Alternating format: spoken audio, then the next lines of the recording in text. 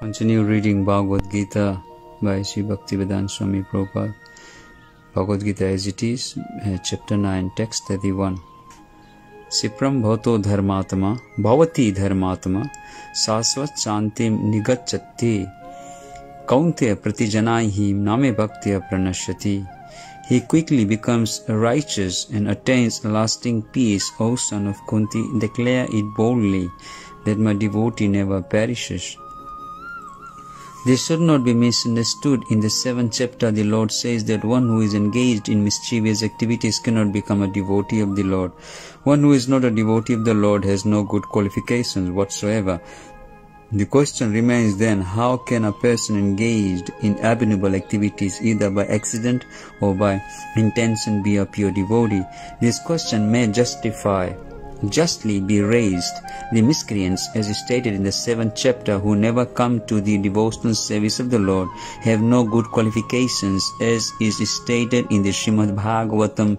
Generally, a devotee who is engaged in the nine kinds of devotional activities is engaged in the process of cleansing all material contamination from the heart. He puts the Supreme Personality of Godhead within his heart and all his sinful contaminations are naturally washed away. Continuous thinking of the Supreme Lord makes him pure by nature. According to the Vedas, there are a certain regulations that if one falls down from his exalted position, he has to undergo certain ritualistic process processes to purify himself.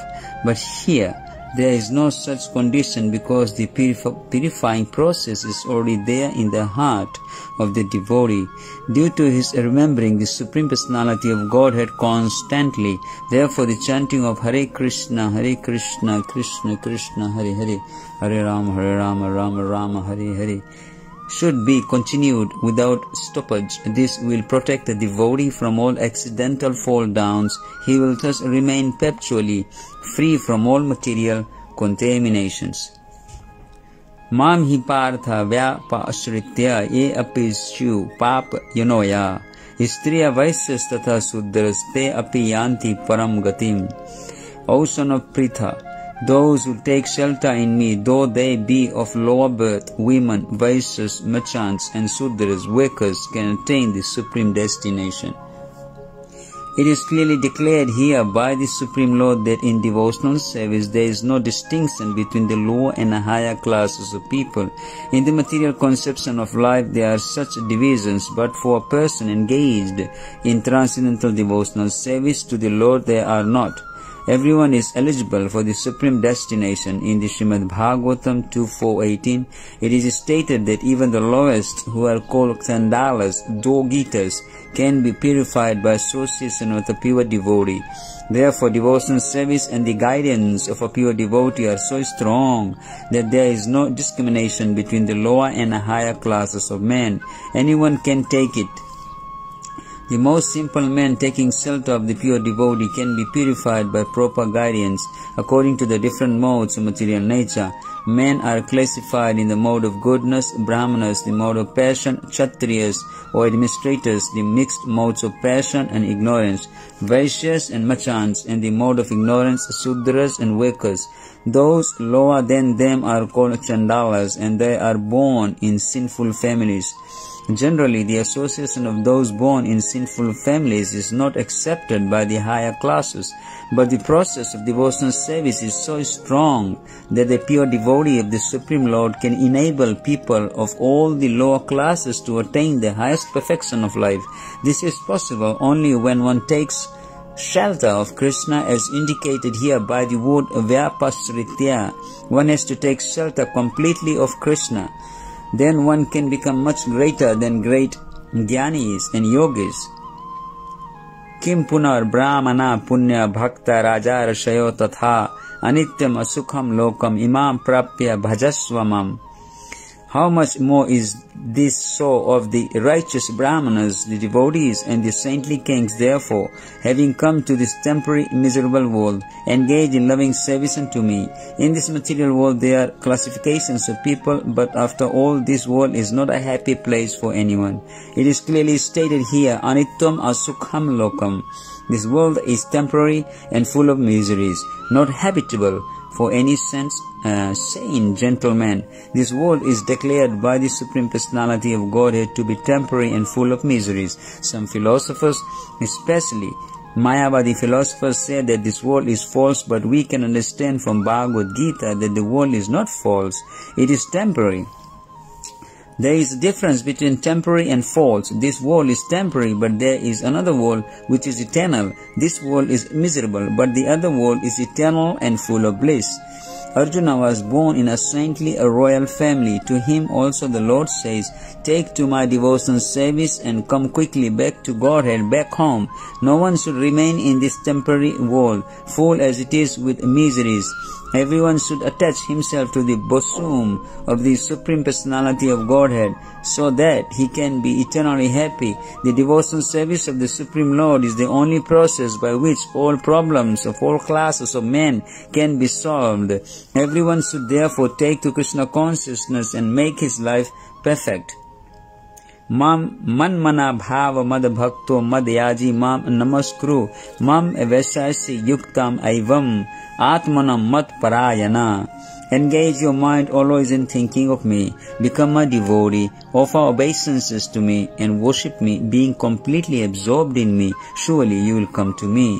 In this verse, it is clearly indicated that Krishna consciousness is the only means of being delivered from the clutches of this contaminated material world. Sometimes unscrupulous commentators distort the meaning of what is clearly stated here, that all devotional service should be offered to the Supreme Personality of Godhead Krishna. Unfortunately, unscrupulous commentators divert the mind of the reader to that which is not at all feasible. Such commentators do not know that there is no difference between Krishna's mind and Krishna Krishna is not an ordinary human being. He is absolute truth. His body, mind, and he himself are one and absolute.